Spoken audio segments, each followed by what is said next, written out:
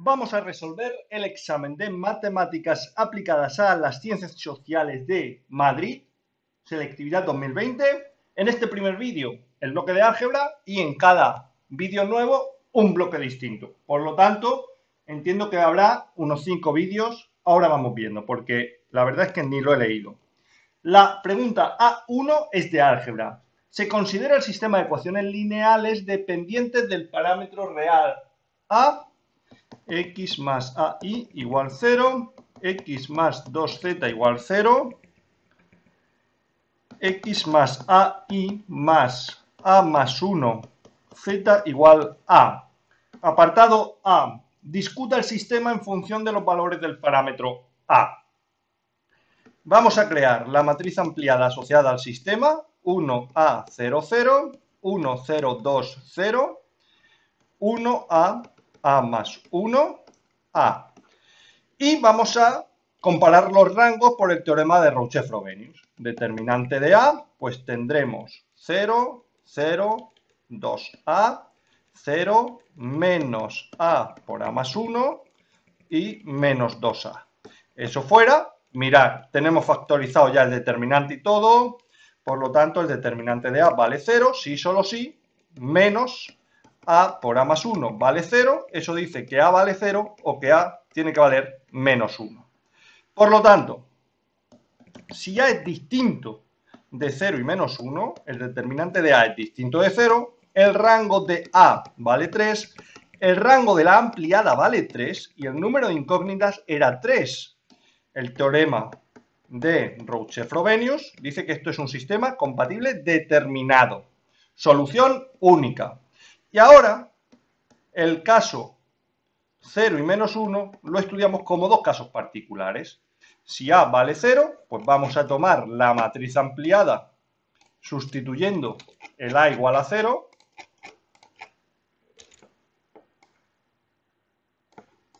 Tendríamos 0, 0, 0 y aquí un 1. Entonces, fijaros qué está pasando aquí. Tenemos que el rango, eh, el determinante de A vale 0, obviamente, es lo que hemos calculado antes. Si conseguimos una matriz de orden 2 cuyo determinante sea distinto de 0, pues tenemos que el rango de los coeficientes es 2. Y yo tomaría, por ejemplo, esta matriz. 1, 1, 0, 2, 2 distinto de 0, el rango de A es 2. La ampliada amplía con el vector nulo, es un sistema homogéneo que siempre es compatible. Entonces el rango de la ampliada también es 2. Por lo tanto, el teorema de Rouché-Frobenius garantiza que el sistema es compatible indeterminado. Infinitas soluciones. Y vamos a ver qué pasa si A es igual a menos 1. Volvemos a copiarnos esta matriz ampliada, sustituimos, ¿qué ha pasado? A ver, Sustituimos el A por un menos 1. Menos 1. Esto es un 0. Esto es un menos 1. Sabemos que obviamente el determinante de A vale 0. Pues lo mismo. Una matriz de orden 2. Esto es 1 distinto de 0. El rango de los coeficientes es 2. Ampliamos con el vector de términos independientes. 1, 1, 1, menos 1, 0, menos 1. Y aquí sale 0, 0, menos 1 determinante 0, 0, 0, 0. Aquí tenemos un menos 1 y 0. Distinto de 0. Por lo tanto, el rango de la ampliada es 3. El teorema de Rouché-Frobenius dice que como los rangos son distintos, pues el sistema incompatible no tiene solución. Hemos discutido en función de A y el apartado B dice que resolvamos para A igual a 0. Para A igual a 0 era el caso en el que el sistema era compatible indeterminado, esto que tenemos aquí. Esta era la matriz ampliada asociada al sistema. La vamos a copiar aquí porque esto nos va a permitir, esto se ha copiado muy mal, vamos a ver si podemos copiar esta matriz bien. Se mueve. A ver.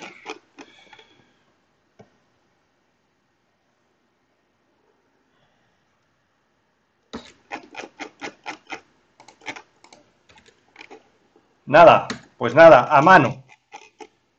1000 1000 1020 si no recuerdo mal 1020 y 1010 1, 0. 1, 0, 1, 0. Y resolver esto es muy sencillo, porque fijaros lo que tenemos aquí. En esta primera ecuación tenemos x igual 0. Si x vale 0, estos dos elementos se anulan, desaparecen. Por lo tanto, tendríamos 2z igual 0, z igual 0, por lo tanto z vale 0. De y no tenemos nada, pues y se nos queda una variable libre. Por lo tanto, la solución si queremos reordenar esto sería x0 y el parámetro z0 con lambda perteneciente a R. Esto lo borramos y esta sería la solución del sistema compatible indeterminado. Esto es el ejercicio A1 y el segundo ejercicio de álgebra era el B1. El B1 dice, se considera una matriz A dada por 3, 1, 2, 0, M, 0, 1, menos 1, 2.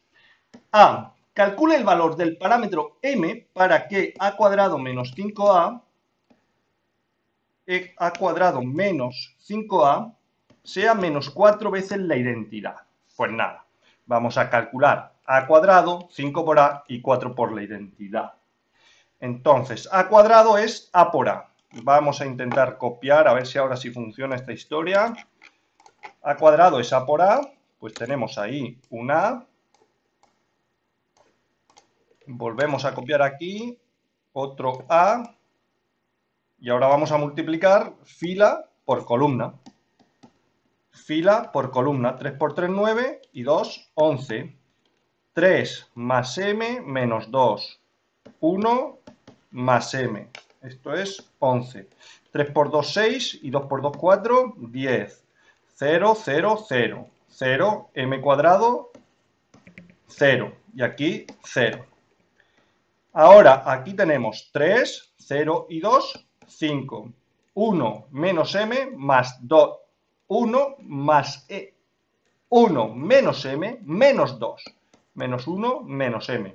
Y aquí tenemos 2 y 4, 6. Eso es a cuadrado. Ahora tenemos que tener menos 5a. Pues yo creo que ya esto es más o menos sencillo. 0, m cuadrado, 0, 5, menos 1, menos m y 6. Ahora menos 5a, pues al propio a la vamos a multiplicar por 5 directamente. Y además la vamos a multiplicar por menos 5 y así ya sería sumar, que es más fácil que restar. Por lo tanto, menos 15, menos 5, menos 10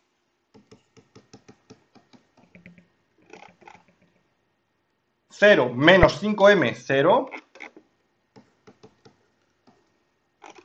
Y menos 5, 5 menos 10. Menos 5, 5 menos 10.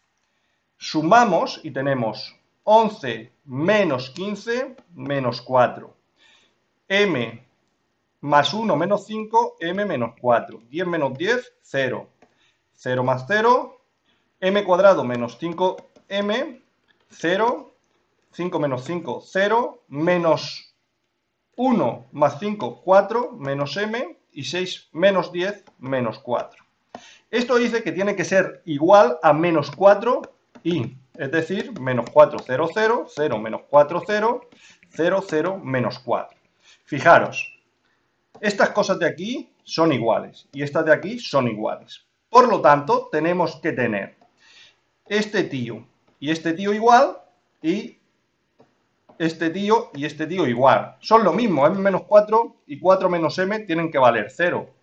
Por lo tanto, m menos 4, 0, m igual 4.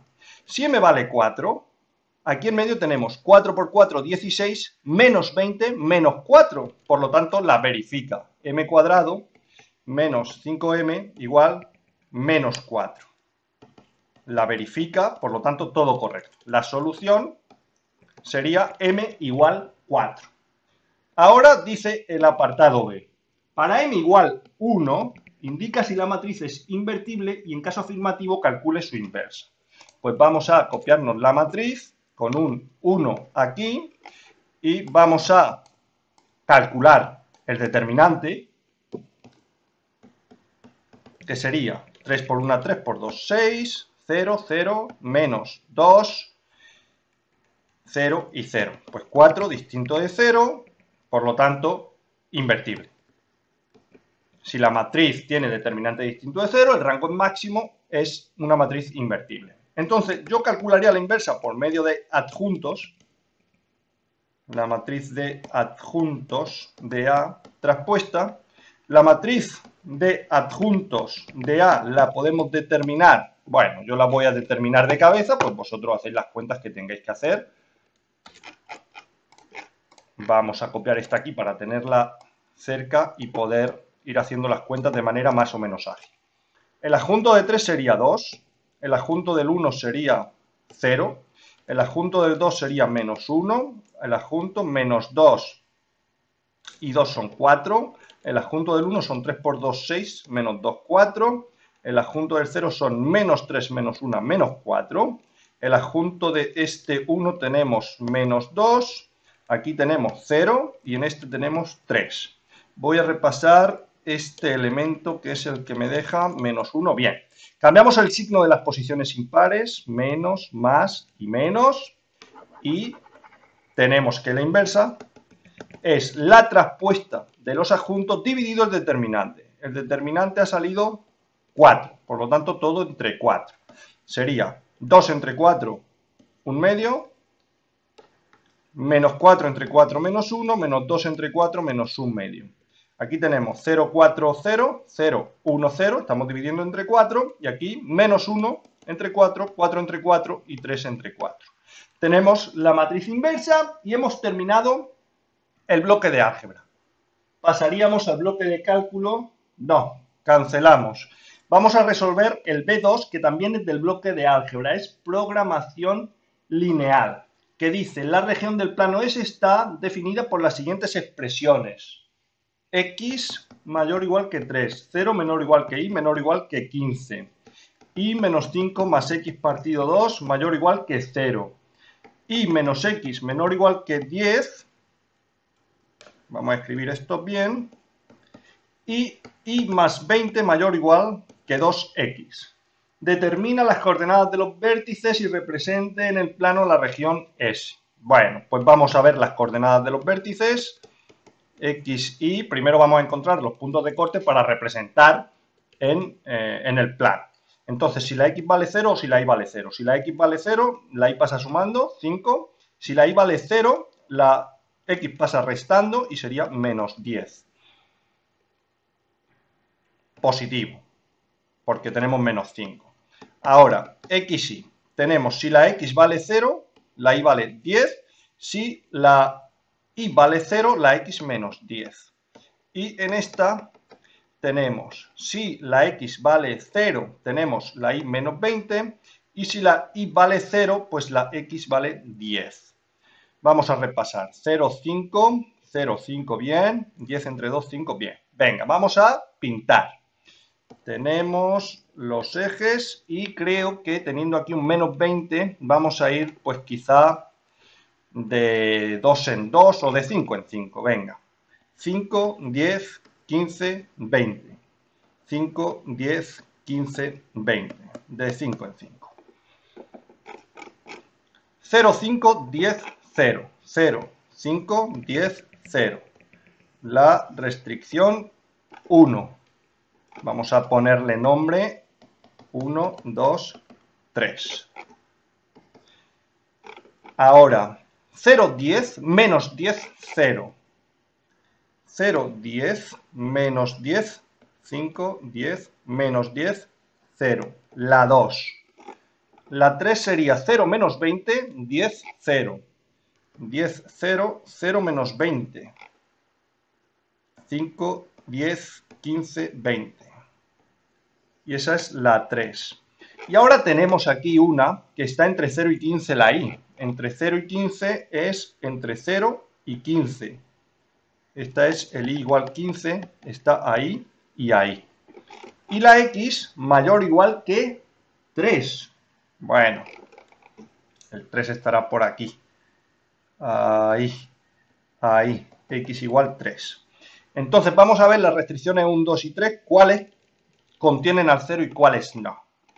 Vamos a ver, el 0, 0, menos 5 es mayor o igual que 0, no, por lo tanto la 1 no, la 1 no tiene el 0, pues para este lado de aquí es con el que nos quedamos.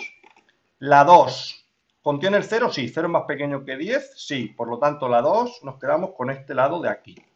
La 3, 0, 0, 20 mayor que 0, sí, por lo tanto la 3 también contiene el 0, nos quedamos con este lado de aquí. Por lo tanto, vamos a pintar Vamos a pintar, vamos a pintar de qué color que se vea. Rojo, hemos dicho.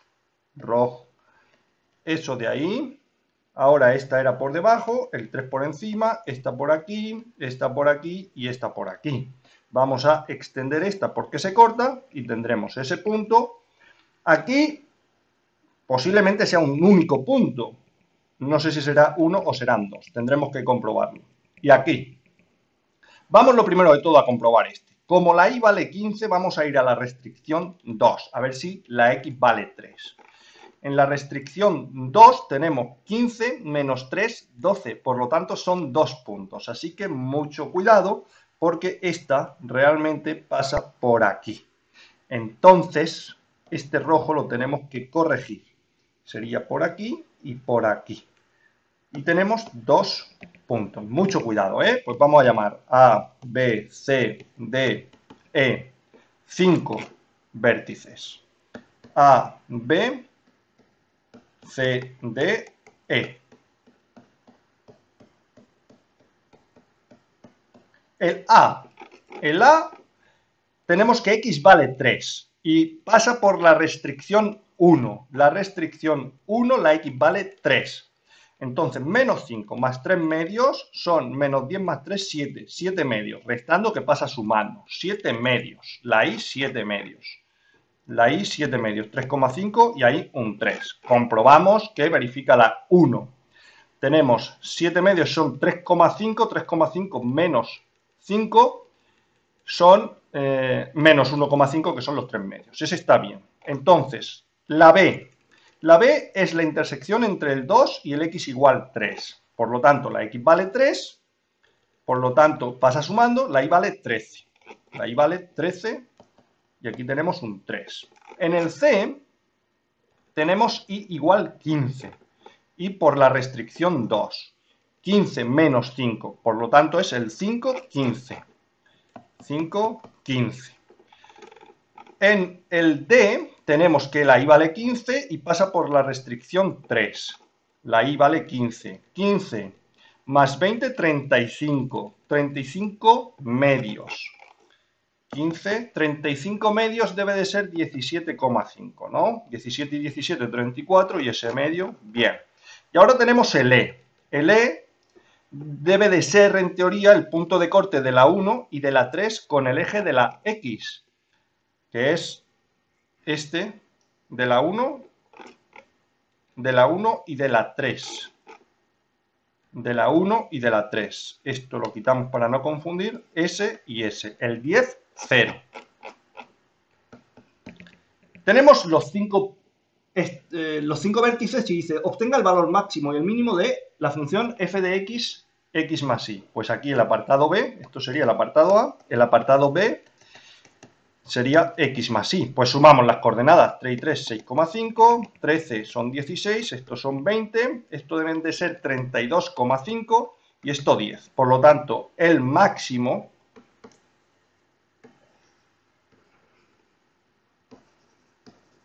máximo y el mínimo pues 6,5. Y teníamos el apartado B y ahora sí el bloque de álgebra terminada.